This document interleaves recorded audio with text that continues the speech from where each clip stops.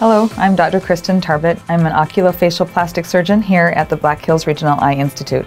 I grew up in Utah, attending high school there, and college I went to Brigham Young University in Provo, Utah. I went on to do my medical school at the University of Utah in Salt Lake City, and I was lucky enough to be able to stay on to do an internship in ophthalmology and surgery for an additional year there. Had a lot of good experience in getting into ophthalmology and had a lot of in great introduction to uh, facial plastic surgery, and that led me then to my residency in ophthalmology at Washington University in St. Louis. Upon completion of my residency there, I pursued a fellowship in neuroophthalmology in Orbit. And after completion of that fellowship, I pursued a second fellowship in oculofacial plastics and reconstructive surgery. I'm pursuing a third fellowship year in cosmetic facial plastic surgery. In the field of oculofacial plastic surgery, we focus on areas around the eyes and face, particularly in the areas of eyelids, orbit, lacrimal, so problems with tearing.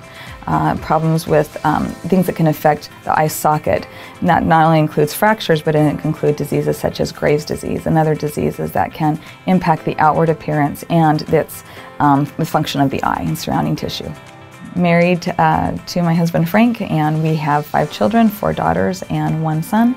We have a small Maltese poodle, Hershey, who's the only child still at home with us at this time. Oh, I have lots of hobbies. Um, love spending time with family and friends. Uh, the things that we love to do uh, lots of skiing, lots of outdoor hiking, mountain biking. I love sea kayaking and uh, skiing. I love to travel, especially with friends and family. Uh, reading is a favorite pastime, and something other than medical related things, it's always a pleasure to be able to read a good book.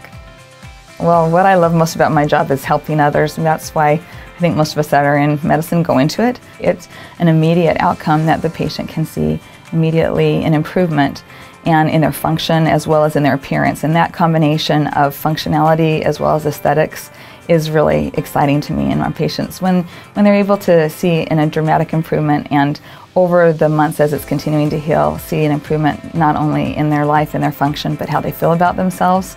That's rewarding to sharing that experience with them.